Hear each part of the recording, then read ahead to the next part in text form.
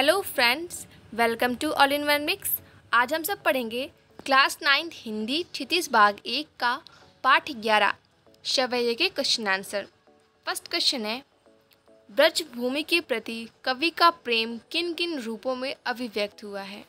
तो यहाँ पर इस चैप्टर में जो इस पोएम में जो भी स्टोरी है ना, वो कृष्ण जी से रिलेटेड है, ठीक है? कृष्ण और राधा जी से। तो यहाँ पर बोला जा रहा है कि ब्रज भूमि के प्रति जो कवि का प्रेम है, वो कौन कौन से रूपों में अभिव्यक्त हुआ है? आंसर देखते हैं। कवि श्री कृष्ण की रासलीला भूमि ब्रज के प्रति अपना प्रेम निम्न रूपों में अभिव्यक्त करता है। मतलब यहाँ पर जो कवि है, वो श्री कृष्ण जी की बहुत बड़े भक्त हैं और वो जो कृष्ण जी रासलीला करते थे राधा के साथ वो ब्रज भूमि में करते थे। तो वहाँ, यहाँ पर जो कवि है ना, उस ब्रज भूमि के प्रति उनका जो प्रेम है ना, वो अभिव्यक्त कर रहे हैं निम्नलिखित पंक्तियों द्वारा। फ़र्स्ट है, कवि अगले जन्म में मनुष्य रूप में जन्म लेकर ब्रज में ग्वाल बालों के बीच बसना चाहता है। नेक्स्ट है, वह पशु के रूप में जन्म मिलने पर नंद बाबा की गायों के मध्य चरना चाहता है। वह गोवर्धन पर्वत का हिस्सा बनना चाहता है, जिसे श्री कृष्ण ने अपनी उंगली पर उठाया था। वह पक्षी बनकर उसी कदम के वृक्ष पर बसेरा चाहता है, जहाँ कृष्ण रास रचाया करते थे। तो ये निम्नलिखित इच्छाएँ हैं किसकी? कवि की, जो चाहता है कि वो अगले जन्म में ये चीज़ें कर सके। नेक्स्ट क्वेश्चन है। कवि का ब्रज के वन बाग और तालाब के निहारने के पीछे क्या कारण है? जो कवि है, वो ब्रज के जो भी वन, जंगल, तालाब हैं, ठीक है? और उन सभी को जो है, वो निहारता रहता है, उसको देखता रहता है। तो उसके कारण क्या क्या हैं? उत्तर देखते हैं। कवि, ब्रजभूमि के वन बाग और सरोवर इसलिए निहारना चाहता है क्योंकि इनके साथ श्री कृष्ण की यादें जुड़ी हुई हैं।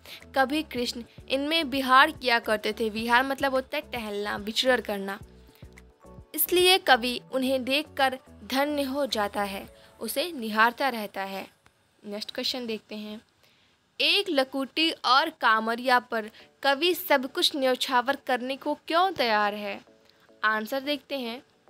एक लकूटी और कामरिया पर कवि सब कुछ इसलिए न्यौछावर करने को तैयार है क्योंकि ये वस्तुएँ उसके आराध्य प्रभु से जुड़ी हुई हैं और इन वस्तुओं में कृष्ण की यादें बसी हुई हैं। ये यहाँ पर जो भी लाकुटी और कामरिया है, ये सब जो है कृष्ण से रिलेटेड है, उनसे कनेक्टेड है। तो यहाँ पर इन सभी यादों में जो है कृष्ण जी की जो यादें हैं, वो बसी हुई हैं। नेक्स्ट क्वेश्चन देखते हैं। सखी ने गोपी से कृष्ण का कैसा रूप धारण करने का आग्रह किया था, अपने शब्दों में लिखे। आंसर देखते हैं। शखी ने गोपी से कृष्ण का ठीक वैसा ही रूप धारण करने का आग्रह किया था, जैसा कृष्ण दिखते थे। इसके लिए उसने सिर पर मोर पंखों का बना मुकुट, गले में गूंज की माला, शरीर पर पीला वस्त्र पहने और हाथ में लाठी लेने का आग्रह किया था। ठीक है, नेक्स्ट क्वेश्चन देखते हैं।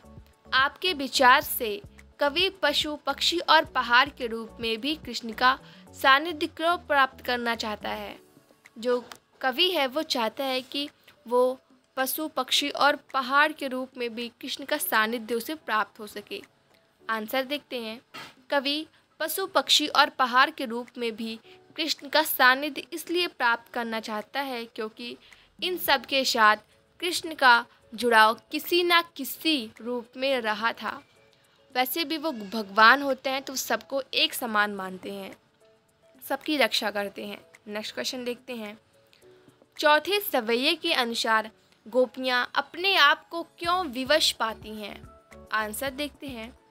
चौथे सवैये के अनुसार गोपियाँ अपने आप को इसलिए विवश पाती हैं क्योंकि श्री कृष्ण की मुस्कान अत्यंत ही आकर्षक है, जो कृष्ण जी की मुस्कान है, वो इतनी आकर्षक होती है कि उनको देखकर जो गोपियाँ हैं ना, वो पिघल जाती हैं। आप लोगों ने देखा होगा, जैसे कभी वो मक्खन चुराते थे तो जो गोपियाँ पकड़ती थी, वो जब भी यशोदा माँ के सामने उनकी बातें करने जाती थी, शिकायत करने जाती थी, कृष्ण जी की मुस्कुराहट के प्रति पिघल कर वो सब भूल जाती थी। तो इस मुस्कान के आकर्षक से बच पाना उसके लिए कठिन हो जाता है। इस मुस्कान के कारण वे अपने तन मन पर अपना नियंत्रण नहीं रख पाती हैं। नेक्स्ट क्वेश्चन देखते हैं। भाव स्पष्ट करना है आपको। एग्ज़ाम में पूछे जाते हैं। फ़र्स्ट है उसमें, कोटिक एक कलधौत के धाम, करिल के कुंचन ऊपर वारो। यहाँ पर रशखान जी हैं। रशखान ब्रजभूमि से इतना प्रेम करते हैं कि वे वहाँ के कांटेदार करिल के कुंजों के लिए करोड़ों महल के सुखों करीले महल मतलब जो भी लाखों करोड़ों का जो महल है, उसको सुखों को भी न्यौछावर करने को तैयार हैं। आशय यह है कि वे महलों की सुख सुविधा त्याग कर भी उस ब्रजभूमि पर रहना पसंद करेंगे। नेक्स्ट है, माई रीवा मुख की मुस्कानी, शमहरी न जय है, न जय है, न जय है। एक गोपी श्री कृष्ण की मधुर मोहनी मुस्कान पर इतना मुग्ध है, इतना मुग्ध है कि उससे कृष्ण की मोहकता झेली नहीं जाती। वह पूरी तरह उन पर समर्पित हो गई है। कृष्ण जी की मुस्कान इतनी आकर्षक होती है कि लोग उन पर, जो है, न्यौछावर हो जाते हैं, उन पर समर्पित हो जाते हैं। नेक्स्ट क्वेश्चन है। कालिंदी कुल कदम की डारन में कौन सा अलंकार है? यहाँ पर देखिए, स्टार्टिंग में कालिंदी कुल कदम मतलब का वर्ड की आवृत्ति हुई है मतलब पहला शब्द सबका सेम है। तो यहाँ पर अनुप्रास अलंकार है। नेक्स्ट है, काव्य सौंदर्य स्पष्ट कीजिए। फ़र्स्ट है उसमें, या मुरली मुरलीधर की, अधरा ना धारी, अधरा ना धरोगी, इसमें यमक अलंकार का प्रयोग हुआ है। मुरली मुरलीधर में संभग यमक है। अधरन धरी अधरन ना में भी यमक है। अधरन मतलब होता है अधरों पर और अधरना मतलब होता है होठों पर। मतलब देखिए, यमक मतलब का वो क्या होता है ना, दो वर्ड सेम सेम बार पढ़े बट उनका जो अर्थ होता है ना, वो अलग अलग होता है। ठीक है? अनुप्रास अलंकार का सौंदर्य भी देखने को बनता है। मुरलीधर म म, ठीक है? और अधरन न धारी अधरा, आ अ ठीक है? So friend, thank you for watching this and don't forget to like and share the video.